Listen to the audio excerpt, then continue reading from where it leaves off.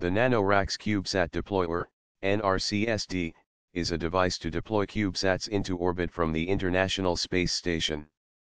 Currently, there are two CubeSat deployers on board the International Space Station, ISS the Japanese Experiment Module, JEM, Small Satellite Orbital Deployer, JSSOD, and the NanoRacks CubeSat Deployer, NRCSD.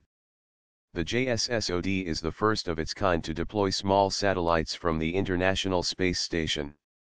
The NRCSD is the first commercially operated small satellite deployer from the ISS, maximizing full capabilities of each airlock cycle of deployments. As of 2014, one method of getting CubeSats to orbit is to transport them aboard a larger spacecraft as part of a cargo load to a larger space station. When this is done, deploying the CubeSats into orbit as a separate artificial satellite requires a special apparatus, such as the NanoRacks CubeSat deployer.